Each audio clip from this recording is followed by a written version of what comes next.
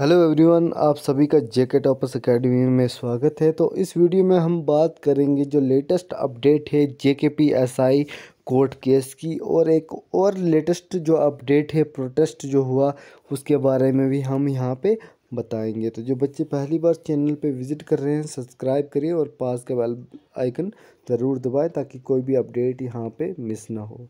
तो आइए यहाँ पर शुरू करते हैं। तो सबसे पहले एक बात आप सभी को बताना चाहूँगा कि जो ये, जो एक पूरी जजमेंट आज आउट कर दी गई है, आज है दस मार्च। क्या डेट है आज? दस मार्च है। और आज के दिन जो है हाई कोर्ट का जो फाइनल जजमेंट आ गई है, लेकिन वो जजमेंट भी आपस अपने आप में एक सवाल है। ठीक है? तो पूरा जजमेंट यहाँ पे आप पढ़ सकते हैं नाइन पेजेस का है ये। देख सकते हैं, बिल्कुल रियल है Jammu and Kashmir high court और लद्दाख हाई कोर्ट, जो हमारा नाम है हाई कोर्ट का, high court of Jammu and Kashmir and Ladakh.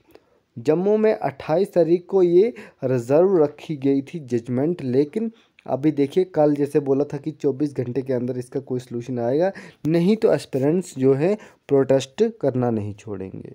तो यहाँ पे देख सकते हैं, जो एस्पेरेंट्स की जो पावर देख के उन्होंने अपनी फाइनल जो जजमेंट थी, ये निकाली है, ठीक है, ये रिज़र्व की है और प्रोनाउंस की है दस मार्च दो हज़ार तेईस को।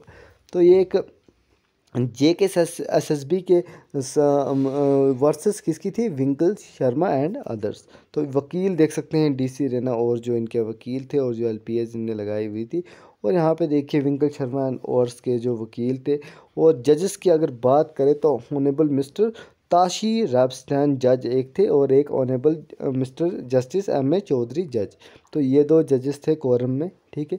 अब बात ऐसी है कि ताशी रैबस्टैन जज ने क्या बोला, ठीक है?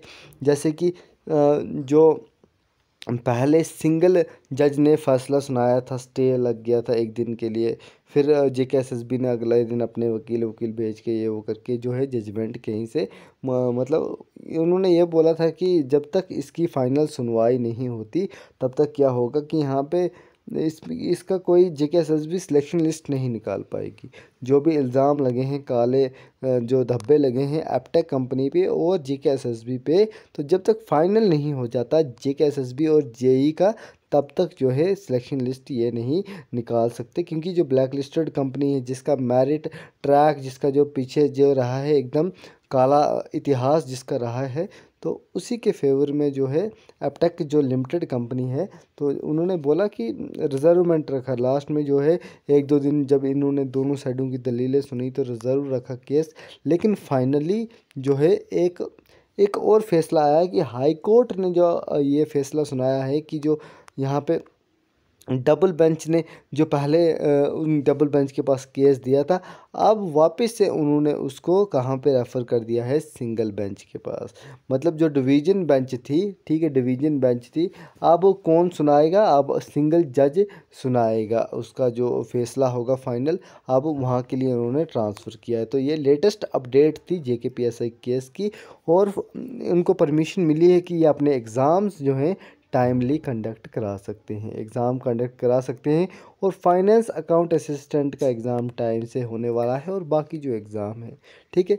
तो ये लेटेस्ट अपडेट थी, सभी कैंडिडेट्स ने ध्यान से समझा होगा। अगर जो लास्ट तक बने रहे हैं तो वीडियो को शेयर कीजिए। मिलते हैं नेक्स्ट अपडेट के साथ। तब तक के लिए हैव ए नाइस डे